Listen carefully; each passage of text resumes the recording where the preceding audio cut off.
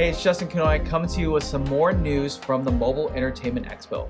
One of the most anticipated items to debut at this conference was a newly designed DJ console from Max Design, the Infinity Edge. The Max booth, which came out a couple of years ago, made a huge splash for its unique look, useful accessories, and integration with Ape Lab products.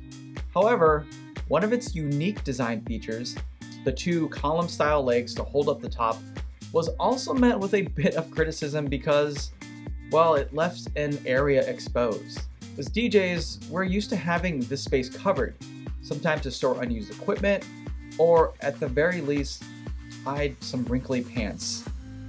Max Booth creator Danny Max has been listening to this feedback and has, in a sense, closed the gap. So I have been building photo booths a really long time.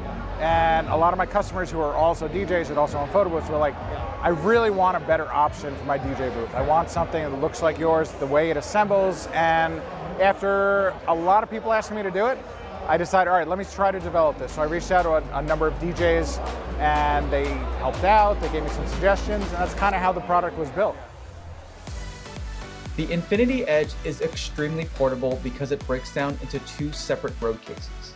Of course, this means some assembly is required, but really the assembly is five pieces.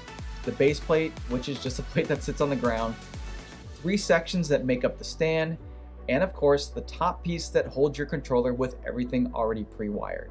By the way, a huge thanks to Rachel Lynch for the assembly footage. Now the great thing about the original Infinity and the new Edge is they are priced the same at $19.99 for the large and $22.99 for the XL version.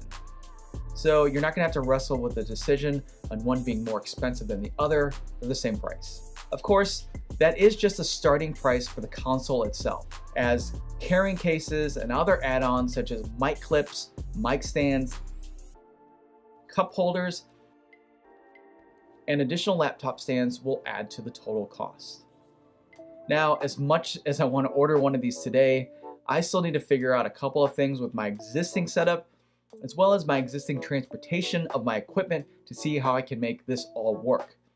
So I'd stay tuned to some other users, especially Rachel, who will likely be one of the first DJs out there to get this out in the wild. So stay tuned to her channel, I'll link it down below.